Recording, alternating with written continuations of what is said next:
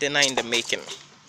Altså, vi har fandme mistet meget. Altså, da vi Sophia, what are you making? nået så langt i dag. I'm not the cook, so Okay. I think you have to ask Stefan about that. Okay, chef. Jeg kan sige, vi kunne ikke nå meget længere, hvis I alligevel skulle over med færgen.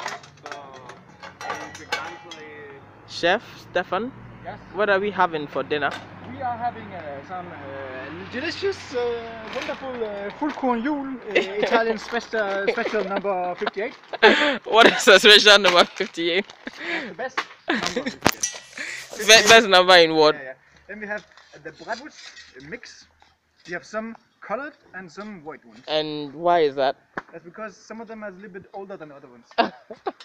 some of them is actually expired. and then we have uh, Dolmio classic uh, sauce. Okay, We actually have two of those. okay. Mhm. And then we have something from our friend, some uh, ravioli and some romana con ricotta pasta sauce alla. Okay. So I'm guessing that based on all of these things, we're gonna have pasta. You're gonna have pasta Italian speciale. Okay. Do you have any Italian pasta experience? Yes, of course. Yeah, I, I guess you lived in Italy for several years. 19 years. 19 years. Yes, yes. Oh, Italian chef. Congratulations. Mhm, mhm. Looking forward to it. Absolutely. You should.